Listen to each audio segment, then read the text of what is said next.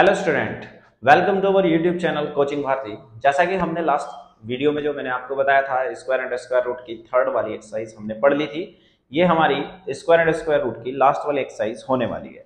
तो इस वाली एक्सरसाइज में बच्चों, सबसे पहले मैं आपको बता देता हूँ कि हमें इसमें स्क्वायर रूट फाइंड आउट करना सीखना है, जिसमें हम डिवीज़न मेथड से आपको स्क्वायर रूट फाइंड आउट करना सिखाएँगे। तो इसमें जो डिवीज़न मेथड है, उसमें आपको सबसे पहले उसका छोटा सा कॉन्सेप्ट आप सभी बच्चों को आना चाहिए कि किस तरीके से हमें डिवीज़न मेथड यूज़ करना है। तो डिवीज़न मेथड के लिए सबसे पहले आपको स्क्वायर रूट लर्न होनी चाहिए। जैसे कि मैंने आपको बताया था two multiply by two four होता है। ऐसे थ्री मल्टीप्लाई बाय थ्री और फोर मल्टीप्लाई बाय फोर ऐसे आपको याद आपने होपफुली कर लिए होंगे। जैसा कि मैंने आपको लास्ट वीडियो में भी सारे के सारे स्क्वायर रूट आपको लर्न कराने का काम किया था।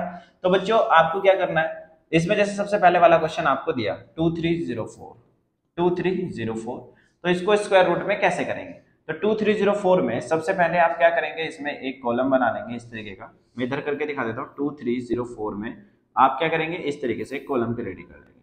ठीक है? जब आप इतना काम कर लेंगे, सबसे पहले आपको क्या करना है, इसमें पेयर बनाने पड़ते हैं। पेयर कैसे बनाने हैं? हमेशा जैसे मैंने ऊपर की तरफ़ दो बार लगाए, इसका मतलब कैसे हुआ? आपको हमेशा इस वाले डायरेक्शन में बार लगाने हैं। हमेशा दो डिजिट का एक बार लगेगा क्योंकि हमें स्क्वायर रूट निकालना है। दो डिजिट का बार क्यों लग रहा है? क्योंकि हमें स्क्वायर रूट निकालना है ना कि दो बार लगे रहते हैं। दो डिजिट का पेयर बनता है। तो इसलिए हमने क्या करा? दो डिजिट के ऊपर भी क्या लगाया? बार लगाया। ऐसे ही हमने क्या करा? नेक्स्ट टाइम भी दो डिजिट के ऊपर ही बार लगाया। सपोज़ करो कोई डिजिट अकेली बच जाती तो उसके ऊपर सिंगल डिजिट के ऊपर बार आता। मैं आपको बताऊँगा ओड नंबर में भी और इवन नंबर में भी कैसे फाइंड आउट करना है। तो बच्चों, यहाँ से सबसे पहले आपको देखना है। इसकी एक खास बात होती है, जब आप स्क्वायर एंड स्क्वायर रूट करेंगे तो जैसे टू थ्री ज़ीरो फोर है हमारे पास तो ट्वेंटी थ्री जैसे सबसे पहले आया। क्या आया हमारे पास? ट्वेंटी थ्री अब देखो टू इंटू टू तो कितना आता है? फोर आता है। आपको ना, अगर टू का टेबल पढ़ना है तो टू इंटू टू पढ़ना है। अगर थ्री का टेबल पढ़ना है तो थ्री इंटू थ्री पढ़ना है। फोर का टेबल पढ़ना है तो फोर इंटू फोर ही पढ़ना है। फाइव का टेबल अगर पढ़ना है तो फाइव इंटू फाइव पढ़ना है। ये बात आपको ध्यान रखनी है। तो जैसे हमको 23 के पास जाना है 23 के पास जाना है। तो देखो टू इंटू टू तो फोर हुआ थ्री इंटू थ्री नाइन हुआ 4 इंटू फोर सिक्सटीन हुआ। ऐसे ही 5 इंटू फाइव कितना हो जाएगा? 25 जो कि हमारा 23 से क्या हो जाएगा? ज़्यादा हो जाएगा। तो हमें क्या करना पड़ेगा? 4 इंटू फोर के पास ही रहना पड़ेगा। समझ में आ गई इतनी बात? तो यहाँ पे कितना लिख देंगे हम? फोर इंटू फोर इधर फोर लिखेंगे फोर इंटू फोर कितना आता है? 16 आता है। और जब हमारे पास 13 में से सिक्स माइनस हो जाएँगे तो थर्टीन में से सिक्स माइनस होने के बाद हमारे पास कितना बच जाएगा? सेवन बच जाएगा। और यहाँ पे हम कितना नोट कर लेंगे? Zero four. इतनी बात समझ में आ गई आपको? ये हमारा पहला स्टेप इसका कंप्लीट हो जाता है। हमेशा इसमें पूरा का पूरा पेयर ही नीचे की तरफ़ हम नोट डाउन करें उसके बाद जब हम फोर प्लस इसमें क्या कर लेंगे? जैसे यहाँ पे हमारे पास इतना पेयर नोट हो गया है। अब हम फोर प्लस फोर को जब हम प्लस करेंगे, ये दूसरे स्टेप कर रहे हैं। अब दूसरे स्टेप में फोर प्लस फोर करेंगे तो कितना आ जाएगा? हमारे पास एट आ जाएगा बच्चों। जब हमारे पास फोर प्लस फोर एट आ जाएगा, देखो फोर इंटू फोर करके तो सिक्सटीन इधर आया, ये बात ध्यान रखना। और इनको हमारे दूसरे स्टेप में इनको ऐड करना होता है। तो फोर प्लस फोर कितना आया? एट आया। अब एट के साथ मैं कितने का मल्टीप्लाई करूँ?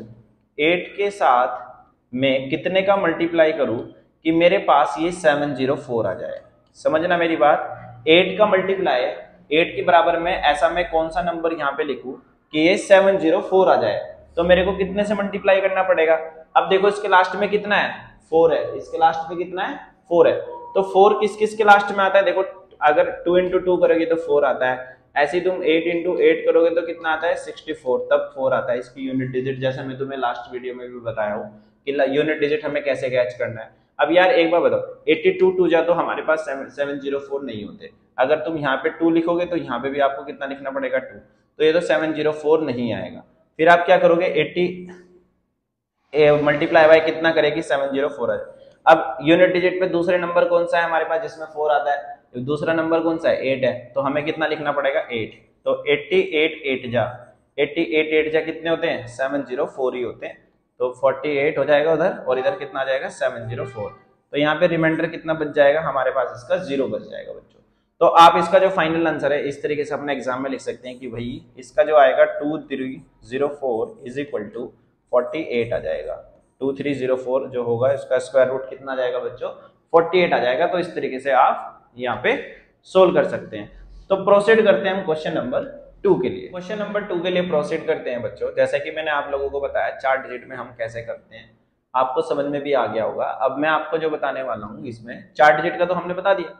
अब ये भी चार डिजिट का है, ये भी आप खुद से कर लेंगे। ये चार डिजिट का है, ये भी सेम कॉन्सेप्ट के बेसिस पे है। बच्चों, ये 529 जो है, ये हमारे पास कितने डिजिट का है? तीन डिजिट का है। तो इसको मैं आपको करना सिखा देता हूँ, किस तरीके से आपको करना है।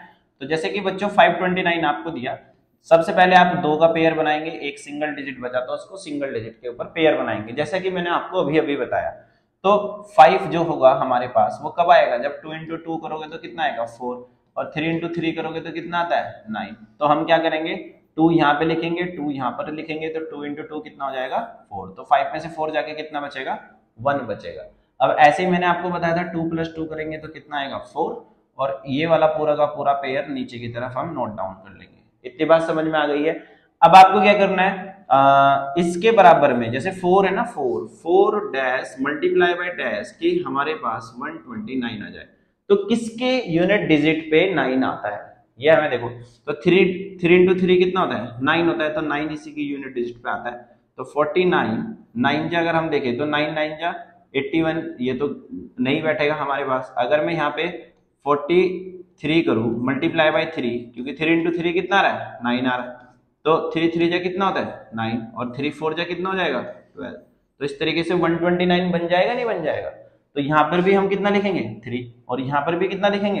थ्री लिखेंगे। तो यहाँ पर कितना जाएगा? One twenty nine.